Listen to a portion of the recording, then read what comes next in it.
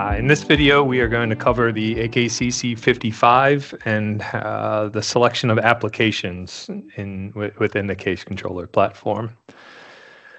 So uh, in our first video, we covered a general introduction where you were shown the different models that we have showing on this slide as well. Uh, so we'll continue on with these, these same models, compact, single coil, multi-coil. Uh, here now we're, we're going to transition into an application. And so for our Danfoss case controllers, the, the term application goes back to models we've had in the past with something like a, a CC550A for anyone familiar with Danfoss. Uh, an application is the selection or layout of your inputs and outputs that you're going to utilize on the case controller. We know the, the case controller, each model has a finite number of inputs and outputs. Um, so by choosing an application, we're able to define the function of each input and output to match what we would need for a given case. Uh, so what you see here is a chart that, that shows you the different options. Here we're looking at the single coil CC55. Uh, and, and, so for, for an application, we have nine different selections we can choose from. And you can see within each one of these applications, we're given uh, a layout for, for what that would equate to with our relay functionality. So the first relay is our solid state relay for any of these choices we would make here. Uh, that's going to be our electronic expansion valve. That wouldn't change from one application to the next. But then you would get into some other functions of the case that we need to control that will change based on our needs. So you can see here, based on the icons, something like an alarm relay, uh, this option for relay or DO2 under the second application would be an indicator for uh, anti-sweat heaters for doors, uh, compressor relay, defrost relay here, lighting relay, fa evaporator fan relay. That, that's some of the, the icons that you're seeing up here uh, and what they're meant to indicate that the control function would be for each of these relays. We do get some uh, a little more of a unique option for something like hot gas defrost, where we know there's special needs at the evaporator to control things on the suction side, the, uh, a drain valve, hot gas supply valve. So you do get some unique applications for something like a hot gas defrost as well. I'd say of the list here, application two is probably your most common selection that we see. Uh, it gives us our expansion valve control defrost, case lights, evaporator fans, and then under DO2 again, it also gives us anti-sweat heater control. So for our door heaters where we would need them, that, that would be available through that relay. And then for the other evaporators and cases throughout a supermarket where we may not have door heaters to control, it would just be a matter of not wiring anything up to that relay. Um, but application two, we can kind of blindly uh, apply that for, for most standard jobs. And that way we don't have to worry about picking and choosing from one to the next if it's going to give us what we need. Typically, application two would, would offer anything we need and more on a standard setup. With the applications, you'll notice that the input side, there, there's not a whole lot of difference here. Maybe one or two applications, uh, you see it's six and seven with some different uh, sensor abbreviations, but for the most part, your applications don't change the sensor layout. Uh, the, the abbreviations you see here are carryover from our first video, where, where these S2 through S6 designations each represent a sensor location in a case digital inputs aren't really changing either from, from one layout to the next. So those things are pretty consistent and pretty standard throughout all of our applications. When we look at the multi-coil case controller, uh, similar mindset here with, with the, the usage of the applications. Here we only have five selections to choose from.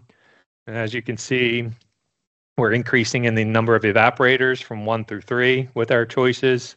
And then when we get up to three evaporators, uh, we, uh, we covered this in the first video that we cannot do electric defrost um, for a three evap control system. So you wouldn't see any relays tied to defrost functionality here, just our three expansion valves, evaporator fans, uh, anti-sweat heater, and an alarm. So this would be a matter of just matching up the layout that you have. Uh, typically, at the uh, OEM level, we'll make sure that um, the, the, the layout that's being wired in for a given case that we have the right options available and that they're being wired to match this. We we would not have the ability to get in and individually select the function of each individual relay. Um, we're we're kind of locked into one of these five selections that we have here. So if we go into how we would choose these applications now when we're looking at a, a system, a few different options. Uh, one option would be through a system manager if the case controller is tied into uh, into a system manager like our SM800A. Here we're in the status screen of a, a case controller setup. So this would be our, one of our single evap case controllers.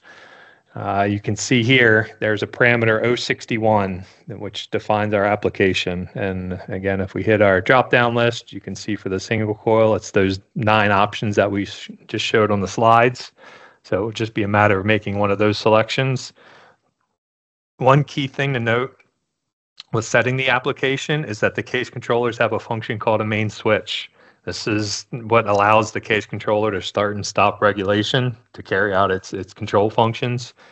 In order to change something that the case controller deems significant, like an application, because we would be um, reconfiguring relay functions when we change this, uh, there's a requirement that the main switch has to be in the off position.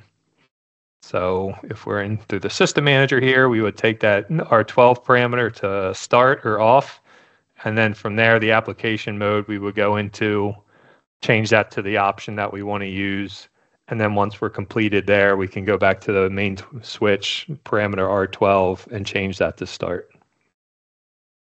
Similarly, through uh, something like the Bluetooth app, if we're connected into the uh, Bluetooth app of the case controller using the CC55 Connect application, uh, we would be able to go ahead from our main overview screen, go into our parameter menu.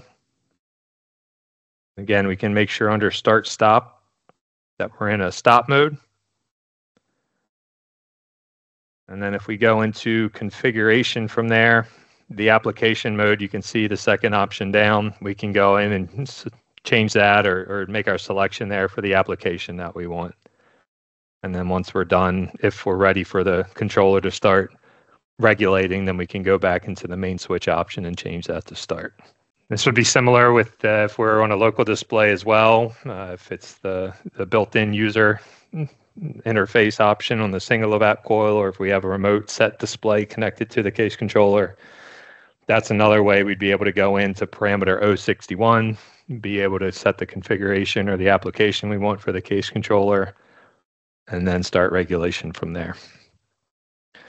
Hope this video was helpful. Uh, this is uh, the coverage of how we would set an application in our Danfoss CC55 case controller.